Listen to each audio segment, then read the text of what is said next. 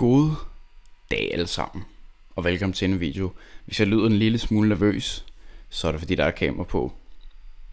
Det er en dårlig joke i først.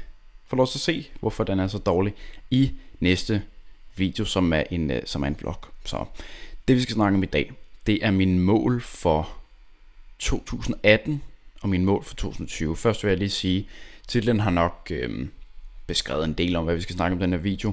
Øhm, jeg har droppet konkurrencen, øh, nu kommer 2018, og har valgt, vi gør det meget kort, at har valgt at stille op i 2020 i stedet for.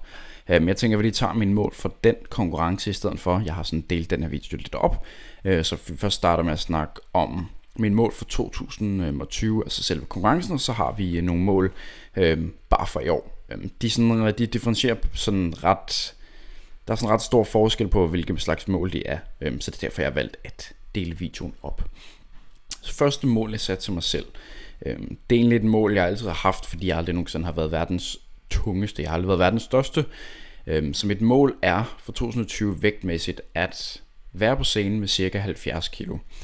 Øhm, I forhold til, hvor jeg var i min kort, jeg tror min laveste vægt var cirka 68,2 så jeg har en estimated stage weight på noget, der ligner 65, måske en lille smule under. Det kommer an på, om jeg lavede, øh, om jeg lavede watercut. Ikke fordi jeg vil have, have sådan en stort vanvittigt watercut, det var i hvert fald en plan.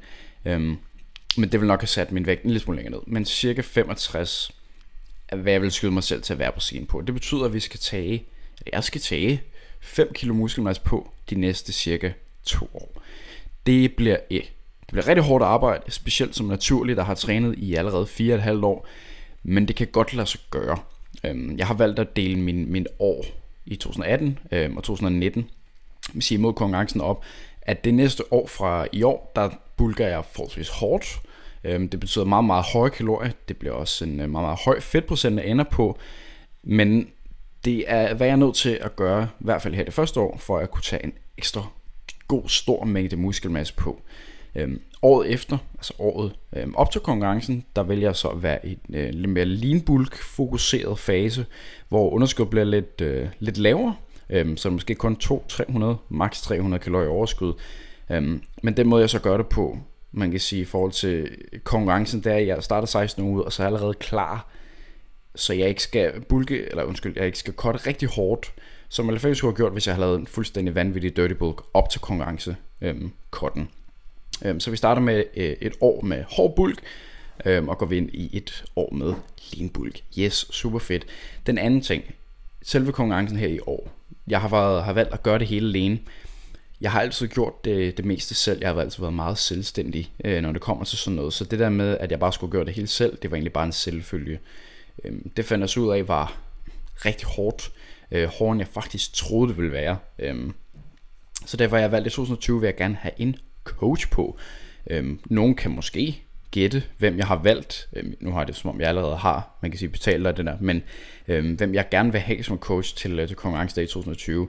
Vi kender Morten, øh, Morten NP Morten Nørgaard, så vil måske vide fra hans øh, serie udfordringen, at han havde Daniel Rigsgaard som coach, som er, efter min mening, sammen med måske Frederik Ibsen, to af de bedste coaches i Danmark til naturlige atleter.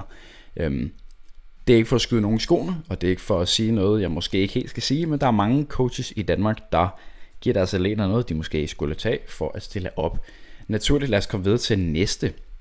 Yes, den sidste ting, det, øh, eller den anden sidste ting, undskyld, det er, at vi gerne vil perfektionere mine øh, poseringer øh, mine poseringer synes jeg er okay, men jeg vil gerne se, om jeg kan øh, tage til et eller to poseringsseminarer i løbet af, af det næste år, to år, for at blive så god som muligt. Øh, og så ellers bare generelt øge, øge, øh, øve posering på en anden måde, end jeg har gjort. Jeg står altid og poserer øh, sådan mellem sæt og sådan noget, men ikke sådan fokuseret på at gå ind i et holdsal, eller ind i et, i et lokale med noget, hvad hedder det, nogle spejle, sætte noget musik på og øve sin posering, til, altså, så man øver sig til musik, hvilket er jo super vigtigt, by the way, vil gerne være god til at posere til musik.